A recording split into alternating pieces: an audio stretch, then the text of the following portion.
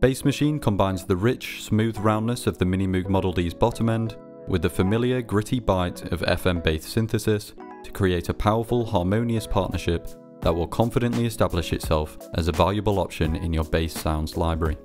The character of the Model D has been recreated as accurately as possible by employing the use of four distinct patches, both with and without a filter envelope. Each white key has also been captured as four random round robins in order to accentuate the organic qualities of the sound. As for the FM synthesis, eight individual patches were created on a four operator synth, creating a wide range of sonic responses. This allows for appropriate complementary pairings of sounds to be made between the Model D and FM samples. Bass Machine's expansive collection of snapshots ensures a suitable sound is available for pretty much any track.